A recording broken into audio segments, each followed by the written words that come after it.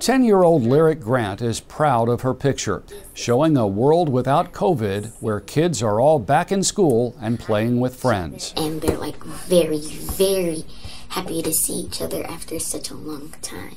Lyric will be featured in a series of kid friendly videos for children enrolled in a pediatric COVID vaccine trial conducted by the Center for Vaccine Development and Global Health. Do we have the right dose? Do we have it at the right frequency? And, you know, do children respond the same way that adults do with their immune response?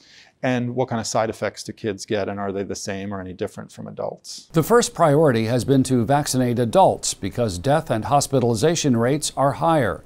But children are also at risk. More than 3 million children have been diagnosed with this in the United States. More than 12,000 have been hospitalized, and more than 260 have died. Um, so even though it's less severe in children, that's not to say that there's not some, you know, some bad outcomes, unfortunately, for kids who get COVID. Teenagers, children, and babies as young as six months old would receive the Moderna vaccine. The younger kids will learn about what to expect from the newest member of the CVD team, Dr. Shelley. We like that the turtle has a shell, and so that shell is like the vaccine, which is what protects you from bad things happening, um, like diseases.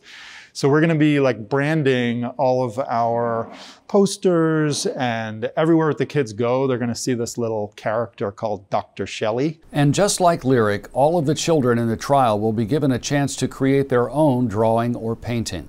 We're going to make an art gallery at both of our sites, and it all the art is going to be kid made and it's all going to have to do with what will the world be like after this vaccine gets rid of COVID. So we think that's going to be kind of one exciting for us to see what they draw and two a, a way to make it friendly a friendly place for them when we vaccinate them.